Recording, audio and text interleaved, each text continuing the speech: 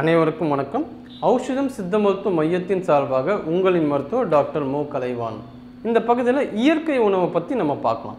நிறைய பேருக்கு இந்த விஷயங்களை பற்றி நிறைய சந்தேகங்கள் இருக்குது எனக்கு இன்றைக்கி எல்லாமே வந்து ஆர்கானிக்கிறாங்க இயற்கைங்கிறாங்க. ஆனால் என்ன இயற்கை? இயற்கை உணவு இயற்கை உணவு நிறைய இடத்துல இந்த பேர் வந்து பப்ளிசிட்டி செய்யப்படுது. ஆனால் இயற்கை உணவை பற்றி உண்மையான விஷயங்கள் என்னென்னா இயற்கை உணவுங்கிறது என்னென்னா சமைக்காமல் நம்ம சாப்பிட்றது தான் வந்து இயற்கை உணவு. இன்றைக்கி இருக்கிற காலகட்டத்தில் நோய்கள் வந்து நிறைய அதிகமாக வந்துக்கிட்டே இருக்குது இல்லையா? சின்ன வயசுக்குலேயும் பார்த்தீங்கன்னா ஹார்ட் அட்டாக் வருது. பெரியவங்க வரக்கூடிய அனைத்து நோய்களும் முப்பது இருபது வயசுலேயும் வந்துடுது ஏன்னா அவங்க சாப்பிட்ற உணவு தான். நம்ம என்ன உணவு சாப்பிட்றோமோ அதுதான் இந்த உடல்.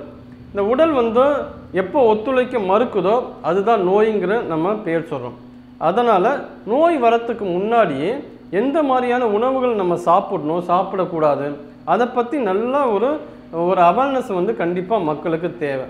அந்த ஒரு விஷயத்தை வந்து நீங்கள் தெரிஞ்சுக்கணும். ஏன்னா எவ்வளோ விஷயங்கள் நம்ம தெரிஞ்சுக்கிறோம் கற்றுக்குறோம் பேசுகிறோம் பழகுறோம். ஆனால் எது நல்ல உணவுங்கிறத நல்லபடியாக தெரிஞ்சுக்கணும். அதுக்கு மிக முக்கியமான உங்கள் உதவி செய்ய போகிறது தான் இந்த இயற்கை உணவு. இயற்கை உணவு பார்த்தீங்கன்னா அப்படியே இயற்கை தன்மை மாறாமல் நம்ம சாப்பிட்றது தான் நம்ம இயற்கை உணவு. குறிப்பாக சமைக்காமல் நம்ம வந்து எடுத்துக்கிறது. இன்றைக்கி இருக்கிற காலகட்டத்தில் நிறைய பேர் வந்து பசிக்காக சாப்பிட்றத விட ருசிக்காக தான் சாப்பிட்றாங்க. சில பேர் பார்த்திங்கன்னா பசியே இருக்காது. ஆனால் இப்போ ஒரு ஒரு பஜ்ஜி சமோசா அந்த மாதிரியான கலரில் அந்த உணவை பார்த்தோன்னே ஒரு டெம்ட் ஆகுது. நம்ம சாப்பிட்ணுங்கிறது தோணுது. அது என்னென்னா அந்த கலர்ஸ் தான். அந்த நிறங்கள் இருக்குல்ல அந்த சிவப்பு கலர் அது ஈஸியாக வந்து அட்ராக்ட் ஆகக்கூடிய ஒரு கலர் கருப்பு கலரில் ஏதாவது தின்பண்டங்கள் நீங்கள் பார்த்தீங்களா இருக்க முடியாது. ஏன்னா வைலட் கலரில் இருக்குமா? இருக்காது. இந்த மாதிரி ஆரஞ்சு கலரில் சிவப்பு கலரில் இருக்கிற உணவுகள் வந்து நம்மளை வந்து அட்ராக்ட் பண்ணும். அதனால தான் அந்த கலரில் வந்து நம்ம உடம்புக்கு தேவையில்லாத உணவுகள் வந்து அந்த நிறத்தில் இருக்குது அந்த விஷயத்த நீங்கள் வந்து கண்டிப்பாக தவிர்க்கணும். இதுக்கு இயற்கை உணவுகளும் ரொம்ப வரப்பிரசாதமாக இருக்கும். நம்ம சமைக்காத உணவை வந்து நம்ம எடுக்கும்போது அந்த உணவில் என்ன இருக்கோ அது அப்படியே நமக்கு கிடைக்கும். அதுதான் மிக முக்கியமான விஷயம். அதுதான் அந்த சத்துக்கள் வந்து நம்ம அப்படியே கதைக்குது ஆனால் வந்து அப்போ வந்து டேஸ்ட்டே இருக்காதுன்னு நம்ம சொல்லுவோம். ஆனால் பார்த்திங்கன்னா உப்பு இருக்குல்ல நம்ம சமைக்கும் போது உப்பு பயன்படுத்துகிறோம் அந்த உப்பை வந்து எல்லாத்தையும் டாமினேட் பண்ணி மற்ற சுவையை வந்து குறைச்சிடும். அதனால தான் வந்து நமக்கு காரசாரமாக ஒரே மாதிரியான உணவே நமக்கு தெரியுது. ஆனால் பார்த்தீங்கன்னா ஒவ்வொரு காய்கறிகளுக்கும் ஒவ்வொரு தனித்த சுவை இருக்குது ஒவ்வொரு பழங்களுக்கும் தனித்த சுவை இருக்குது இயற்கை சார்ந்த உணவுகள் என்னென்னலாம் எடுத்துக்கலாம்னு பார்த்தீங்கன்னா பழங்கள் எடுத்துக்கலாம். பழங்கள் பார்த்தா இயற்கை சமைத்த உணவுன்னு சொல்லுவாங்க பழங்களை. பழங்கள் வந்து ஏன் வந்து அதை சிறப்பாக நம்ம சொல்கிறோம்னா அந்த பழங்கள் நம்ம சாப்பிடும்போது உடனடியாக நமக்கு வந்து அது சக்தி கிடைக்குது. ரத்தத்தில் போய் ஊறுது. ஈஸியாக வந்து டைஜஸ்ட் ஆகுது. அதனால தான் பழங்களை வந்து தேர்ந்தெடுத்துக்கிறாங்க. அதே போல் அதில் வந்து எந்த ஒரு கலப்படமும் பண்ண முடியாது. அது மிக முக்கியமான விஷயம். ஆனால் சில பேர் வந்து இந்த வாழைப்பழத்தை பதுக்க வைக்கிறதுன்னு சொல்லிட்டு மருந்து போட்டு பதுக்க வைக்கிறாங்க. அதெல்லாம் வந்து தவறான காரியம். நம்ம வந்து இதெல்லாம் நம்ம பார்த்து தான் வாங்கணும்.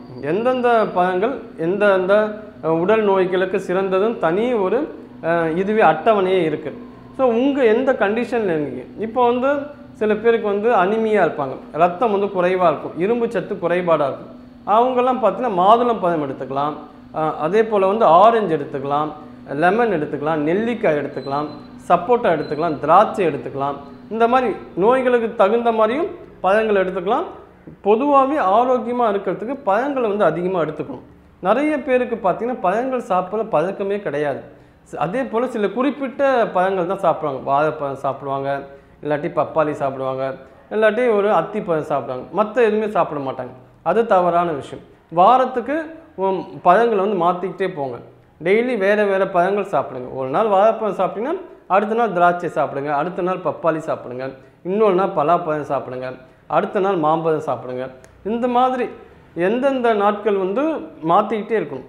ஏன்னா ஒரே மாதிரியான பழங்களும் சாப்பிடக்கூடாது. நம்ம வே அடு அடுத்த அடுத்தடுத்த பழங்களை வந்து சாப்பிட்டுக்கிட்டே இருந்தால் உடம்புக்கு தேவையான அனைத்து ஊட்டச்சத்துக்களும் கிடைக்கும். பழங்களும் வந்து ஒரு இயற்கை உணவில் மிக முக்கியமான ஒரு பங்கை வந்து வகிக்குது. அடுத்தது பார்த்தீங்கன்னா காய்கள் நம்ம சாப்பிடலாம். எப்படி காய்களை நம்ம சாப்பிட முடியும்? சமைச்சு தானே சாப்பிட்லாம்.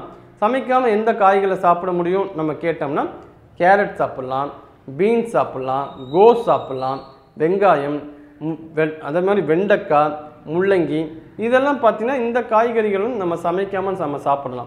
இதை வந்து கரெக்டாக தண்ணியில் போட்டு உப்பு போட்டு தண்ணியில் நல்லா வாஷ் பண்ணிவிட்டு அந்த உணவுகளை அப்படியே நம்ம சாப்பிடலாம்.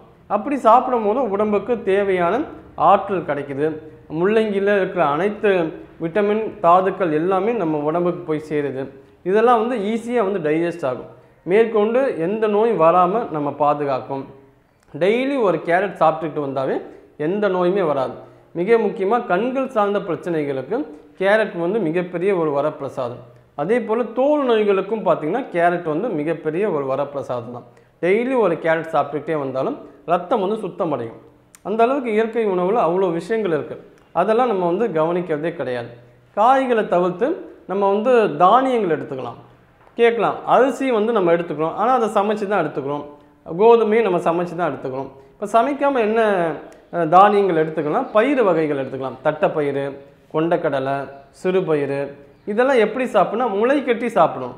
முளை கட்டி சாப்பிடும் போதும் அதோட சத்துக்கள் வந்து ரொம்ப அதிகமாக இருக்கும். நீங்கள் சாதாரணமாக ஒரு கொண்டக்கடலை சாப்பிட்றதுக்கும் கொண்டக்கடலை வந்து முளை கட்டி சாப்பிட்றதுக்கும் நிறைய வித்தியாசங்கள் இருக்கும். அது அதிகப்படியான புரதச்சத்து புரதச்சத்து அதிகமாக இருக்கும். நோய் எதிர்ப்பு சக்தியை வளர்க்கக்கூடிய ஆற்றல் வந்து பயிர் வகைகளுக்கு அதிகமாக இருக்கும். இப்போ முளை கட்டி சாப்பிட்டாலும் இயற்கை உணவில் மிக முக்கியமான விஷயமா இதுவும் இருக்குது வேறு என்ன இயற்கை உணவு எடுத்துக்கலாம்னு பார்த்தீங்கன்னா பூக்கள் எடுத்துக்கலாம். பூக்களாக நிறைய பேர் ஆச்சரியப்படலாம். கண்டிப்பாக ரோஜா செம்பருத்தி இது ரெண்டுமே பார்த்தீங்கன்னா நம்ம அப்படியே நம்ம சாப்பிடலாம். வாஷ் பண்ணிவிட்டு சாப்பிடும்போது ரொம்ப நல்லது. தாமரை பார்த்திங்கன்னா தாமரை இலை நம்ம சாப்பிடும்போது இதயம் சார்ந்த பிரச்சனைகளுக்கு மிக முக்கியமான ஒரு ஆரோக்கியத்தை கொடுக்குது. எதிர்காலத்தில் ஹார்ட் அட்டாக் வராமல் நம்ம பாதுகாக்கிறது தாமரை தான். மிக முக்கியமாக வெள்ளை தாமரை ரொம்ப நல்லது. செம்பருத்தியை நம்ம வந்து சாப்பிட்டோன்னா ரத்தத்தோட அணுக்கள் வந்து அதிகமாகும். அனிமிக்காக இருக்கிறவங்க அதிகமாக எடுத்துக்கலாம். இரும்பு சத்து குறைபாடு இருக்கிறவங்க எடுத்துக்கலாம். இருதயத்துக்கும் அது வந்து பலம் சேர்க்கக்கூடிய ஆற்றல் வந்து செம்பருத்திக்கு உண்டு. இந்த மாதிரி பூக்களையும் நம்ம வந்து வாஷ் பண்ணிவிட்டு அப்படியே நம்ம எடுத்துக்கிறது ரொம்ப நல்லது. கிழங்கு வகைகள்லையும் வந்து இயற்கையாகவே நம்ம சாப்பிடலாம். அதை வாஷ் பண்ணிவிட்டு என்ன மாதிரியான கிழங்கு வகைகளுக்கு பூமிக்கு அடியில் விளையக்கூடியது நம்ம ஏற்கனவே சொன்ன மாதிரி கேரட் நம்ம சாப்பிட்லாம். முள்ளங்கி சாப்பிட்லாம். பீட்ரூட் சாப்பிட்லாம். அதே மாதிரி சக்கரவள்ளி கிழங்கு சாப்பிடலாம். இதெல்லாம் பார்த்திங்கன்னா நம்ம ஈஸியாக டைஜஸ்ட் ஆகக்கூடிய உணவு. அப்படியே அதில் இருக்கக்கூடிய ஆற்றல் வந்து நம்ம உடம்புக்கு கிடைக்கும். இந்த மாதிரி கிழங்கு வகைகளும் நம்ம எடுத்துக்கலாம். பூக்களும் எடுத்துக்கலாம். தானியங்கள் எடுத்துக்கலாம். காய்கள் எடுத்துக்கலாம். பழங்கள் எடுத்துக்கலாம். இதை தவிர பார்த்தீங்கன்னா சில பேர் அவல் வந்து எடுத்துப்பாங்க. அவலும் வந்து ஒரு இயற்கை உணவில் தான் வரும். அவல் வந்து ஊற வச்சு அதில் வந்து தேங்காய் அதே போல் வாழைப்பழம் எல்லாம் போட்டு நம்ம சாப்பிடுவாங்க. தேங்காய் வந்து டெய்லி எடுத்துக்கலாம். தேங்காயும் வந்து இயற்கை உணவாக டெய்லி வந்து உங்களோட கட்டவல் சைஸு அதை வந்து தொடர்ந்து நம்ம சாப்பிட்டுட்டே வரலாம். தேங்காவை வந்து தொடர்ந்து சாப்பிடும்போது இ இளமையாகவே இருக்கலாம். ஏன்னா தேங்காயில் வந்து ரேடியம்ங்கிற கண்டென்ட் வந்து ரொம்ப அதிகமாக இருக்கும் அப்போ தேங்காவை நீங்கள் எடுத்துக்கலாம்.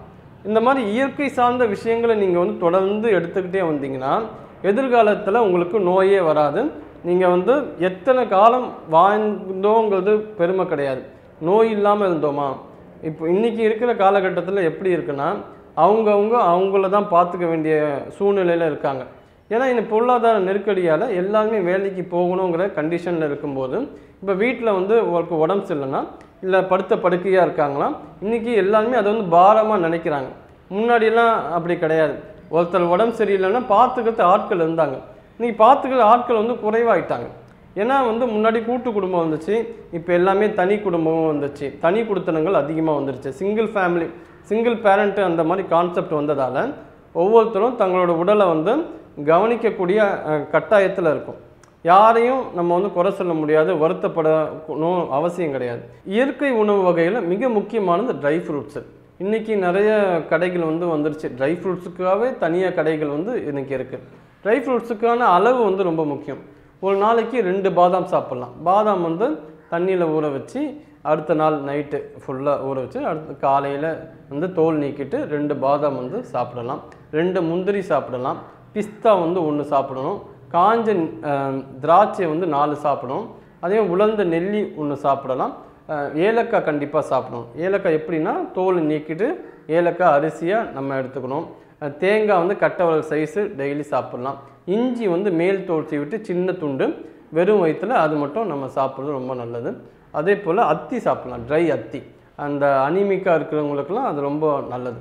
இந்த மாதிரி ட்ரை ஃப்ரூட்ஸையும் நம்ம வந்து இயற்கை உணவில் வந்து எடுத்துகிட்டு வரலாம். அதுவும் ரொம்ப சிறப்பாகவே வேலை செய்யும். உடம்புக்கு தேவையான அந்த மினரல்ஸு விட்டமின்ஸு எல்லாமே அதில் ட்ரை ஃப்ரூட்ஸில் அடங்கியிருக்கு. அதையும் வந்து நம்ம இயற்கை உணவில் நம்ம தொடர்ந்து எடுத்துக்கிட்டு வந்தோம்னா எந்த ஒரு நோயும் இல்லாமல் நம்ம பாதுகாக்கலாம். அந்த இயற்கை உணவில் வந்து சில விஷயங்கள் நம்ம வந்து சேர்த்துக்கலாம். என்னென்னா வந்து இந்த கைக்குத்தல் அரிசி இருக்குது அதை ஊற வச்சு தேங்காய் பால் நாட்டு சர்க்கரை கலந்து நம்ம எடுத்துக்கலாம். வெஜிடபிள் சேலட் வந்து ப்ரிப்பேர் பண்ணி நம்ம சாப்பிடலாம். எதுனா வெள்ளரிக்காய் தக்காளி பீட்ரூட்டு அதேமாதிரி எலுமிச்சை சாறு கொஞ்சம் அதில் மிக்ஸ் பண்ணி உப்பு மிளகுத்தூள் போட்டு அந்த மாதிரி வெஜிடபிள் சாலடாகவும் நம்ம எடுத்துக்கலாம். அதுவும் உடம்புக்கு ரொம்ப நல்லது. இன்னொரு விஷயம் பார்த்திங்கன்னா அரிசி அரிசி மாவு எடுத்து நெய் கொஞ்சம் சேர்த்து நம்ம நல்லா பிசைஞ்சு சக் வெல்லம் கலந்து உருண்டையாக பிடிச்சி விளக்கு மாவுன்னுவாங்க அந்த ப்ரிப்பரேஷன் அப்படியும் நம்ம எடுத்துக்கலாம். சம்பா கோதுமையும் பார்த்திங்கன்னா தேங்காய் பால் நாட்டு சர்க்கரையோடு கலந்து நம்ம சாப்பிடலாம். இந்த மாதிரி இயற்கை உணவுகளுக்கான அந்த ரெசிபி வந்து ரொம்ப அதிகமாகவே இருக்குது அது என்னெல்லாம் தெரிஞ்சு நீங்கள் வந்து ஒன்று ஒன்றா எடுத்துக்கிட்டே இருந்தீங்கன்னா உங்களுக்கு அதுவே வந்து ரொம்ப இன்ட்ரெஸ்டாக இருக்கும். இந்த இயற்கை உணவை வந்து சாப்பிட்டு நம்ம பழக்கமாயிட்டோன்னு வச்சுங்க நம்ம வந்து மிளகாத்தூள் போட்ட உணவுகளை வந்து நம்ம சாப்பிட முடியாது. ஃபாஸ்ட் ஃபுட் ஐட்டம் வந்து நம்ம உடம்புக்கே ஒத்துக்காது. ஸோ இயற்கை உணவை வந்து நீங்கள் வந்து சாப்பிட்டு பழக்கப்படுத்துங்க. அதுதான் வந்து உடலுக்கு ஆரோக்கியமாக இருக்கும் மனதுக்கும் ஆரோக்கியமாக இருக்கும். இந்த மாதிரி இயற்கை உணவை நீங்கள் கண்டிப்பாக முறைப்படி ஃபாலோ பண்ணுங்கள் எதிர்காலத்தில் நோய் இல்லாத ஒரு சமுதாயத்தை உருவாக்க முடியும். நன்றி வணக்கம்.